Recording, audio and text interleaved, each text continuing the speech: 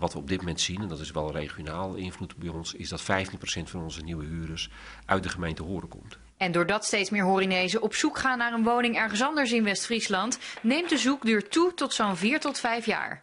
Al sinds 2014 is de stijging te zien. In de dorpen leidt dat tot de nodige discussie. Het is natuurlijk wrang als je 20 jaar lang voor je gevoel voor een woning in aanmerking bent gekomen, dan komt die vrij ja, dan komt er toch iemand uit een andere kern. En of het nou horen is of het is uh, buiten West-Friesland.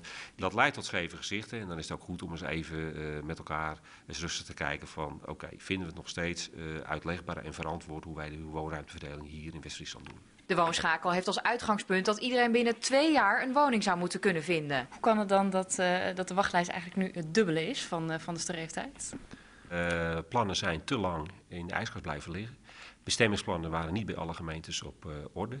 En we zien ook dat uh, de nieuwe regelgeving met de bouw, het verduurzamen, het gasloos maken van woningen, leidt ook tot een herontwikkeling van soms wel plannen van de jaren 2010, 2012, die weliswaar nu uitgevoerd uh, zouden kunnen worden, maar waar nog aan gesleuteld moeten worden.